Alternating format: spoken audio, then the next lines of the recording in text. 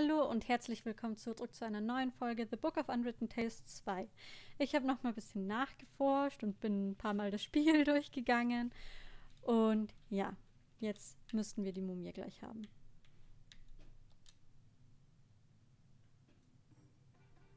Das also. Na los, du musst eine Kugel nehmen. Aber das hieße ja, ich hätte verloren. Das hieße es wohl. Aber ich verliere nie. Das wäre auch besser. Was würde dein Volk sagen, wenn der gottgleiche Pharao gegen einen Sterblichen verlieren würde? Das darf es nie erfahren. Du könntest mich mit etwas bestechen. Ja, oder ich könnte dich von meinem Golem zerquetschen lassen. Eine Bestechung? Hervorragende Idee. Ja, ich weiß. Ist mir einfach so eingefallen. Was willst du haben? Das Buch der Toten? Es gehört dir. Dafür verrätst du niemandem, dass ich die Tempeldienerin beim Umziehen beobachtet habe. Okay. Gut. Dann nehmen wir uns mal das, Buch. Buch der Toten. Was jetzt? Fehlt nur noch der Kompass. Auf zum roten Piraten. Was könnte ich, Wurm, den Gottkönig der Wüste schon... Gut, dann würde ich sagen, dass Leinen es dahin geht. Vielleicht müssen wir uns hier verkleiden.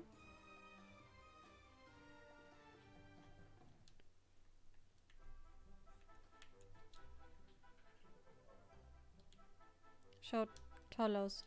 Nate, du bist zu hübsch.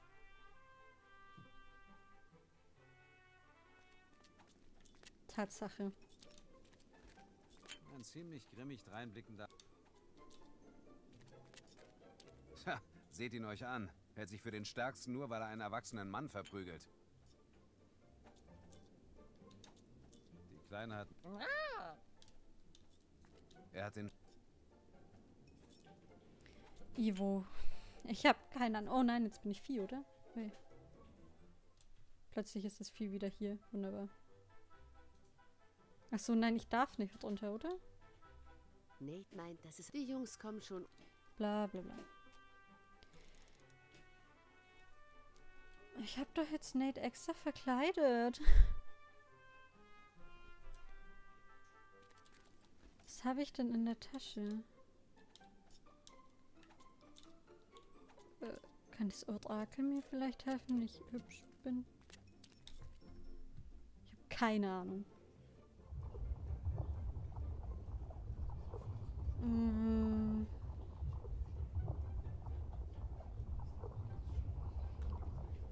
Nee. Wir gehen mal zurück.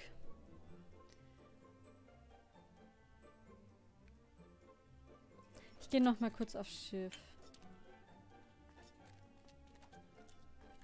Okay, du kommst da nicht durch. Dann gehen wir halt so lang.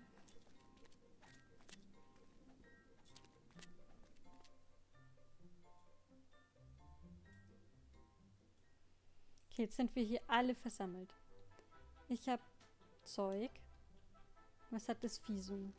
Oh, das Vieh hat noch den Zeitmanipulator. Komm, gib mal wieder, gib mal wieder. Danke, Und sicherheitshalber bekommst du auch das. danke. Und das. Danke. Und Ivo müsste ja eh nichts haben. Nate. Alter, dann halt so. Der Nate. Wenn ich jetzt hier sag...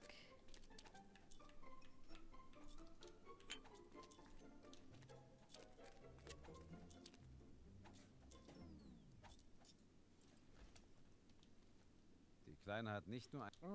Nein. Suchst du den hier? Das würde ich mir überlegen. Denk mal nach. Wie habe ich den Schlüssel bekommen? Na? Mit Magie. Schau dir an, was Magie alles bewirkt hat. Willst du in ein rosa Tütü gesteckt werden und mit Chantal spielen? Lauf! Ich gebe dir 10 Sekunden Vorsprung.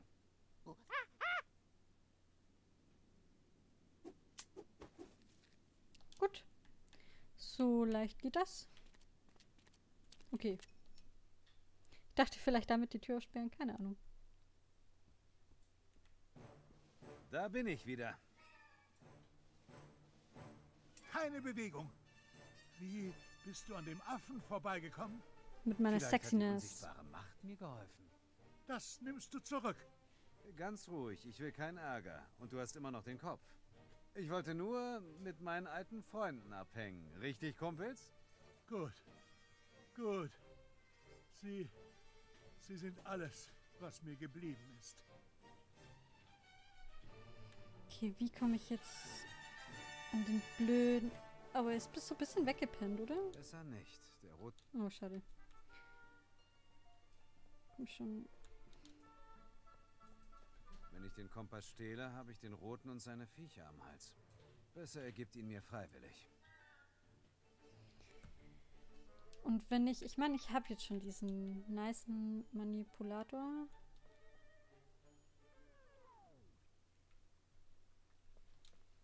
Oh, nein, nein, nein, nein, nein, nein, nein. Wenn ich den gut, besser nicht gut. Ich glaube es...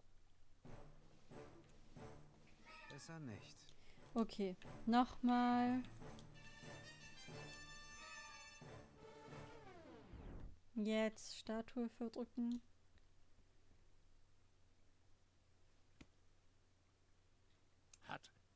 Hat William sich gerade bewegt? Hm? Weiß nicht. Hat er? Naja, warum sollte er nicht? Freunde, lebendige Freunde, bewegen sich, nicht wahr? Ja. Und wenn ich das jetzt nochmal mache?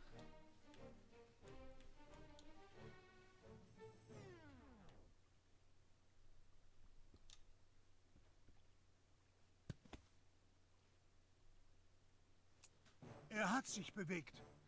Wer hat sich bewegt? William, er will mir etwas sagen. Was du denn? meinst, die steinerne Statue will dir etwas sagen? Hm, das könnte böse für dich ausgehen. Böse?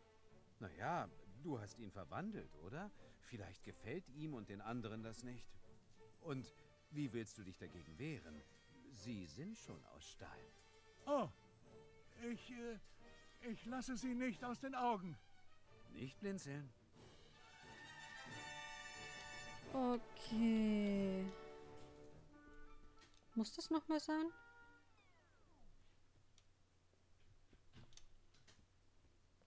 Zeit, etwas Spaß zu haben.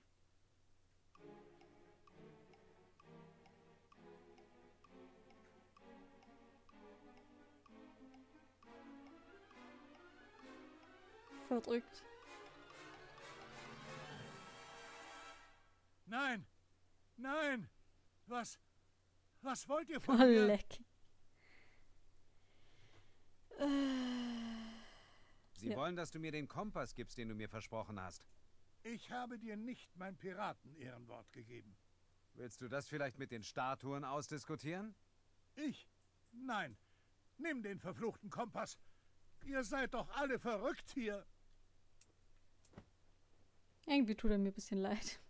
Ja, nur ein bisschen. Das hat besser funktioniert, als ich zu hoffen gewagt hätte. Ja, schnapp dir mal den Kompass.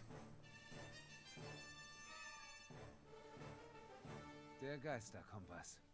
Damit haben wir das Buch der Toten, den Kompass und den Lebensfunken. Alles, was wir brauchen, um Alistair zurückzuholen. Auf zum Orakel. Auf zum Orakel. Woo!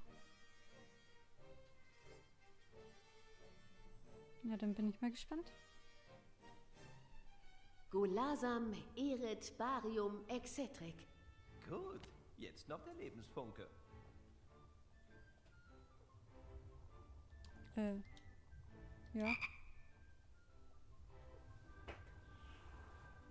Es, es hat nicht geklappt. Was ist geschehen? Erzmagier Alistair? Warum bin ich ein Frosch? Ja, warum ist er noch ein Frosch? Wir haben seinen Geist zurück in diese Welt geholt. Die Rückverwandlung in einen Menschen war nie Teil der Abmachung. Aber Es gibt einen einfachen Weg, einen verzauberten Frosch zurück in einen Menschen zu verwandeln. Küssen, Er muss küssen. lediglich von einer jungfräulichen Prinzessin geküsst werden. nur, wo sollen wir so eine finden? Na, küss.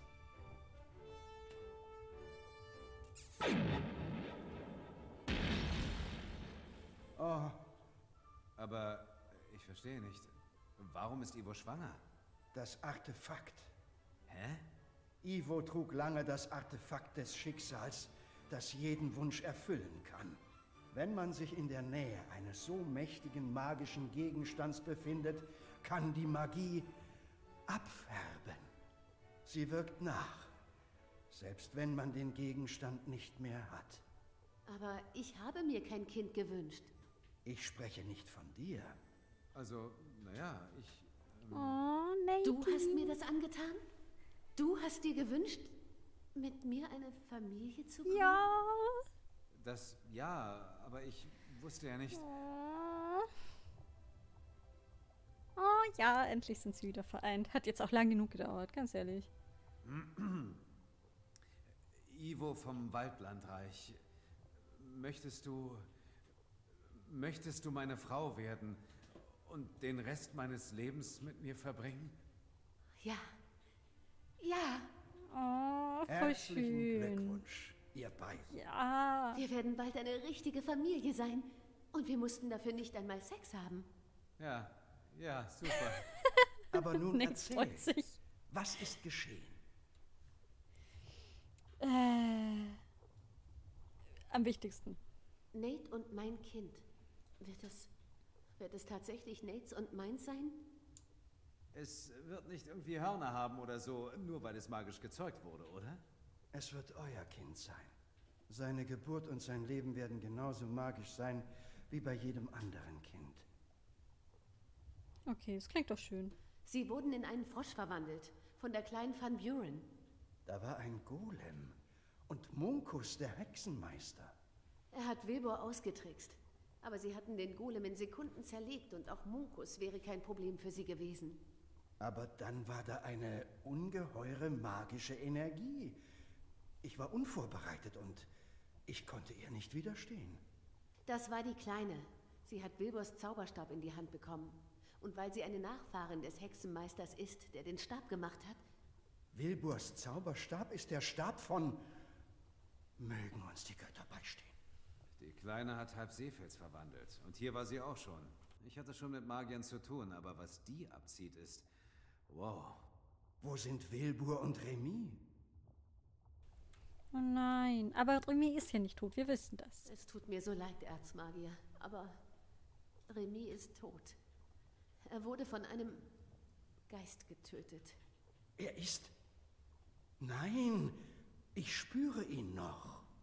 Er ist in Wilburs Armen gestorben. Im Tempel, in dem er vor Jahren Wilburs Zauberstab gefunden hat. Was für ein Tempel? Genau weiß ich es nicht. Wilbur meinte, er sei irgendeiner bösen Gottheit geweiht. Den Namenlosen hat er ihn genannt. Oh, Das ist dann wohl nicht so gut? Einige Hexenmeister haben dort Rituale abgehalten und eine Maschine gebaut. der Zauberstab. Er ist von den Van Burens über Remy zu Wilbur und dann zum Van Buren Mädchen gewandert. Ich hätte ihn genau untersuchen müssen. Ja, das wäre wohl besser gewesen. Los. Wilbur sucht im Düsterwald ein Buch, in dem steht, wie man Van Burens Zauberstab zerstören kann. Genau wie Remy es ihm aufgetragen hat. Das war nicht Remy. Und in dem Buch steht auch nicht, wie man den Zauberstab zerstören kann. Beide Brüder haben zusammengearbeitet, um... Wir müssen Munkus um jeden Preis aufhalten. Was er vorhat, ist Wahnsinn. Munkus? Sind die Van Burens nicht das eigentliche Problem? Sie verwandeln Stück für Stück unsere Welt. Eine Welt, die es vielleicht nicht mehr geben wird, wenn Munkus das Buch aus dem Düsterwald in die Finger bekommt. Schnell, gebt mir meinen Zauberstab. Mhm. Das ist. Also. Naja, hm. Ihr habt ihn nicht mitgebracht, oder? Er müsste noch in Seefeld sein. Wir müssen ihn holen, sofort. Ohne ihn kann ich meine magischen Kräfte nicht richtig kanalisieren und ich fühle mich so schwach wie noch nie zuvor. Ich werde der Mary Dampf machen. Los geht's. Oh Mann. Ich finde schade, dass es ihm gerade so schlecht geht. Aber endlich sind sie verlobt. Endlich haben sie zusammengefunden. Hi Vieh, wir haben den Erzmagier zurückverwandelt.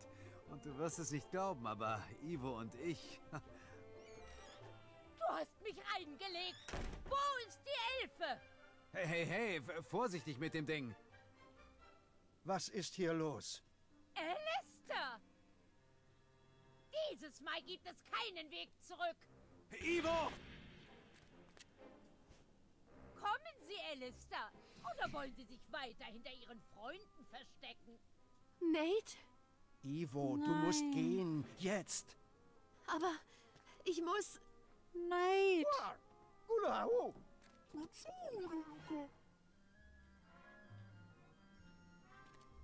Wir können ihn bestimmt retten, irgendwie. Ich hab's drin fest gemacht.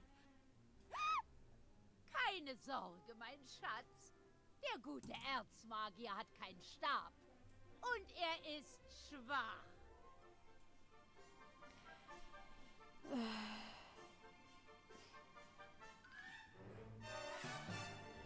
Hier. Es geht hier nicht um Sie glaub, und Ihren kleinen Staatsstreich, Mrs. Van Buren. Es sind andere Kräfte am Werk. Finstere Mächte. Die Sie natürlich aufhalten könnten, wenn wir sie laufen ließen, oder? Sie verstehen nicht. Es geht um das Ende der Welt. Sie würden alles erzählen, um Ihren Hals zu retten, Alistair. Der Zauberstab muss zerstört werden. Er ist der Schlüssel zu unsagbarem Leid. Er ist der Schlüssel zur Macht. Meiner Macht. Chantal, wenn wir den Zauberstab nicht zerstören, werden schreckliche Dinge passieren. Hör nicht auf ihn. Es ist meiner und ich mache keine schrecklichen Dinge. So ist's brav, mein Wonneproppen. Wonneproppen passt halt wirklich irgendwie voll zu ihr. Legen Sie den Kopf weg. Er ist gefährlich. Es gibt kein bekanntes Mittel gegen die Versteinerung. Deswegen wird es auch niemand wagen, meinen Herrschaftsanspruch in Frage zu stellen. Der mächtigste Zauberstab der Welt und ein Kopf, der jedes Wesen aus Fleisch und Blut zu Stein verwandeln kann. Wir halten die beiden ultimativen Waffen Aventasiens in Händen. Niemand wird uns aufhalten können. Sie haben recht. Ich kann euch nicht gehen lassen. Ha!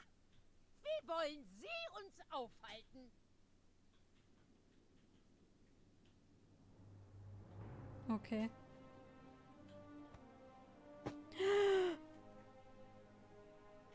Shit.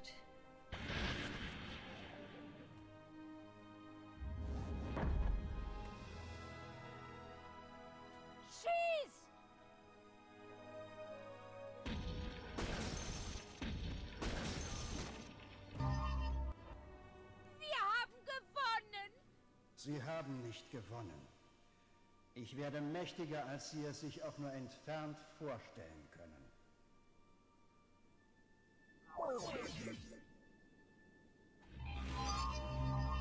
Wow. Was ist los mit Alistair? Das das, ist ja ein das ist krasser doch alles Dude. Blödsinn. Oh. Wenn es sich so zugetragen hätte, dann wäre ich ja... Nein. Was glaubst du, was das hier für ein Ort ist, Nate?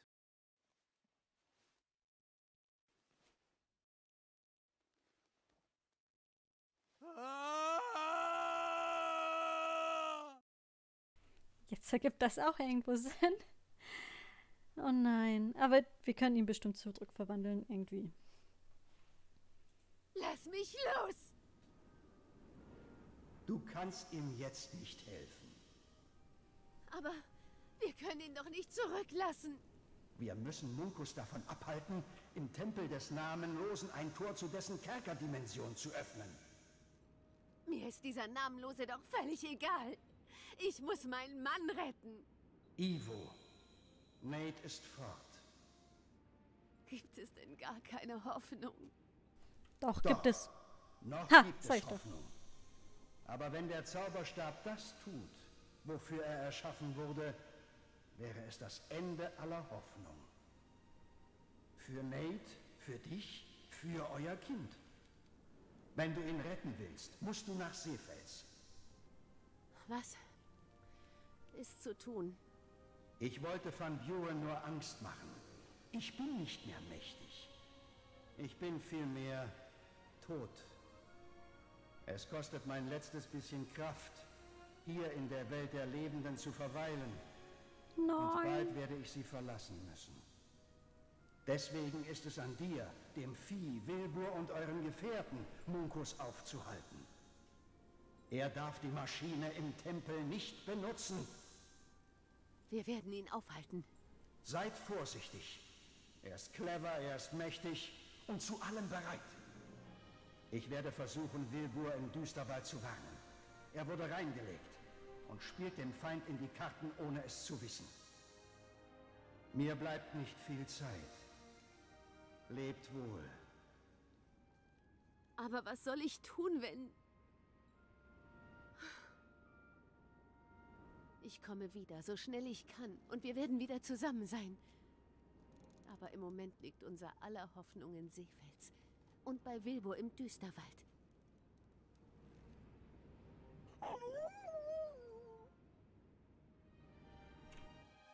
Oh Mann. Das ist voll traurig mit Alistair. Das ist ungefähr so, wie als, als Dumbledore gestorben ist. Gefühlt. Bist du sicher, Wilbur? Ja. Irgendjemand im Dorf wird wissen, wo der alte Van Buren gelebt hat. Und vielleicht auch, wo wir das Buch finden können. Soll ich Nein. nicht doch mitkommen? Wenn deine Füße so wehtun wie meine, möchte ich dir das nicht antun. Ich bin nicht lange weg. Passt ihr bitte auf Timmy auf? Keine Sorge, er schläft. Wenn du wiederkommst, warten heiße Würstchen auf dich. Kann's kaum erwarten. Nein, Wilbur, tu es nicht. Hm. Wie ausgestorben. So. Bevor wir hier weitermachen, werde ich auf jeden Fall eine Aufnahmepause machen, weil ich habe heute ziemlich lange aufgenommen. Wir sehen uns dann in der nächsten Folge wieder. Bis dann. Tschüss.